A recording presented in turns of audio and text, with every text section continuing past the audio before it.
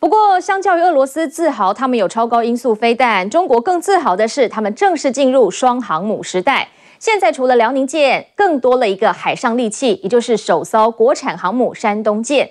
辽宁舰的舰载机是歼十五，最多可以搭载二十四架。那么，另外山东舰的舰载机到底会是哪一架呢？各界瞩目。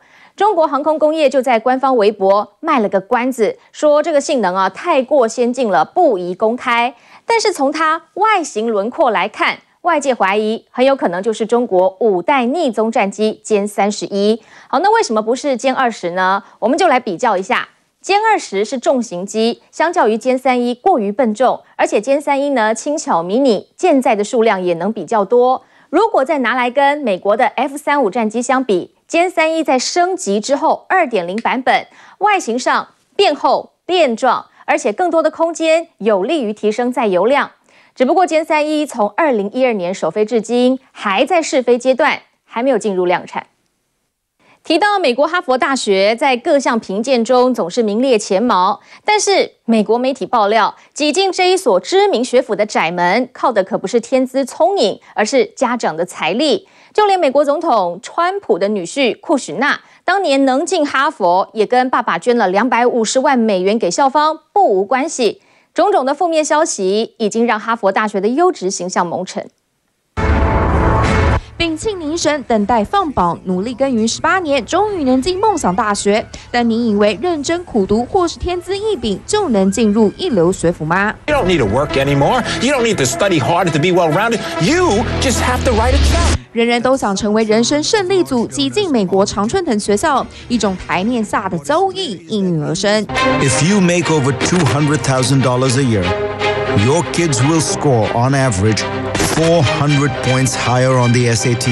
美国名人、影星、富豪靠行贿等各种手段，把子女送入顶尖大学。Two famous actresses caught up in what prosecutors are calling the largest college admission scam. 欲望是男女星费利西蒂·赫夫曼花费大约台币四十六万给中介找枪手修改长女大学考试答案。经典影集《俏皮老爸天才娃》女星罗莉·洛琳支付超过台币一千五百万，让两个女儿以提保生身份进入南加大就读。I do want the experience of like game days, partying. I don't really care about school, as you guys all know. 罗莉洛琳女儿走后门上名校，被人发现选霸弄喜 gay，形象崩坏的恐怕还有他。White House advisor Jared Kushner。川普女婿库什纳当年进入哈佛大学，原来库什纳爸爸捐了两百五十万美元给哈佛。With people who are familiar with Jared Kushner's high school record, and it turned out he was not a particularly outstanding or, or, or motivated student. 成绩普通能上哈佛，尽管库什纳家族回应两者没关联，但很难不让人多做联想。哈佛的美国名校学历，恐怕再也不能让人咸鱼翻身，而是世世代代的阶级复制。三立新闻来红报道。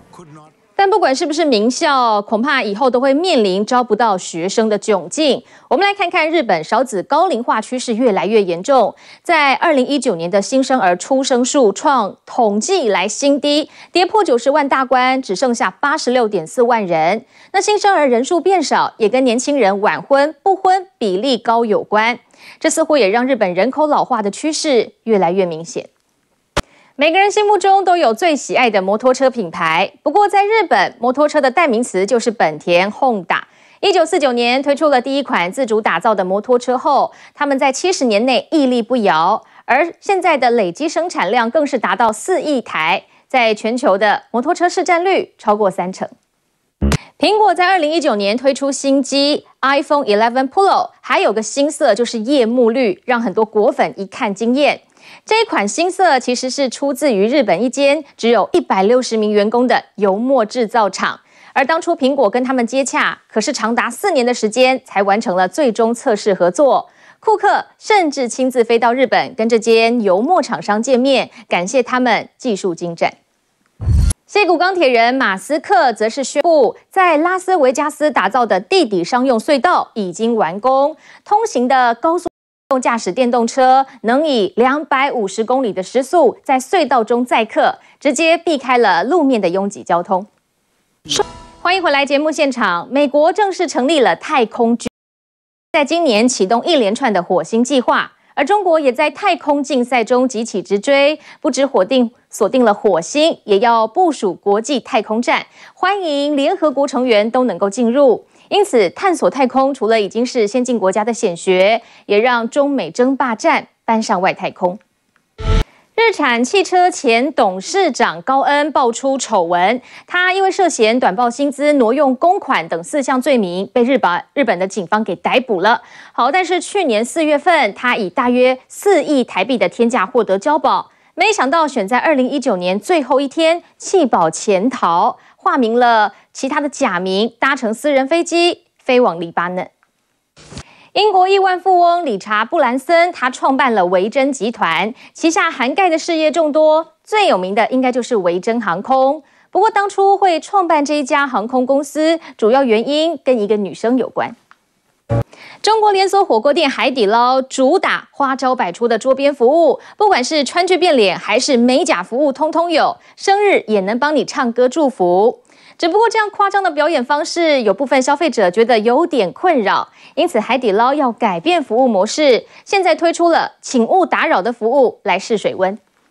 在中国拥有六百多间分店的真功夫餐厅，因为使用了李小龙的 logo，被李小龙的女儿提告，而现在上海法院也宣判餐厅侵权了，必须赔偿九点二亿台币。新加坡的国民品牌小 CK 主打平价快时尚，但现在在中国被山寨了。这乍看之下招牌是一样的，但其实被换了三个字母。很多消费者买回家才发现自己被骗。科技在进步，但这似乎也违反了自然法则。带您来看到中国一名科学家宣布，他以基因编辑的方式打造出全球首例的艾滋免疫婴儿，但现在却因为触犯非法行医罪被判处三年徒刑。美国有一名实境秀明星宠女儿无极限，他砸了百万帮女儿盖游乐园生日趴，耶诞节还送上昂贵的钻戒，粉丝都看傻眼了。感谢您收看三六零大世界，我们再会。